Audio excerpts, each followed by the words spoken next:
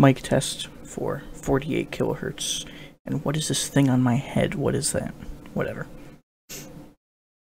And this is the mic test for 44.1 kilohertz, just to see which one sounds cleaner. Blech. It's midnight.